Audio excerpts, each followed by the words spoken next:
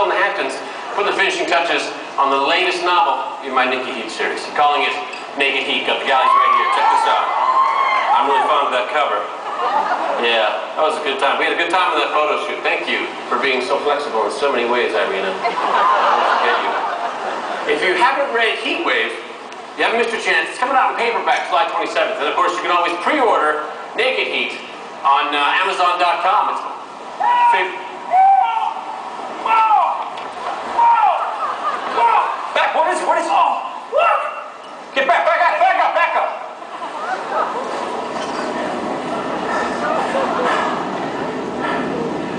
Those are ligature marks. This looks like murder.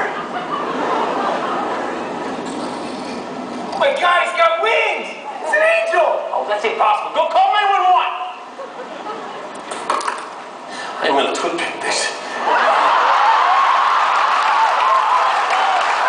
Fallen angel, dead on Hampton's beach. Looks like murder. But I can crack the case. B for Hamptons PD. If you want to follow me on Twitter, you can help me solve the mystery of the fallen angel. Just follow Writer Castle. It's capital R, no, capital W, capital R, capital C, all one word. I gotta go now. I gotta do some digging. But uh, have a great time this weekend. And if you see Nathan Fillion, tell him he owes me 50 bucks for beating him on Angry Birds.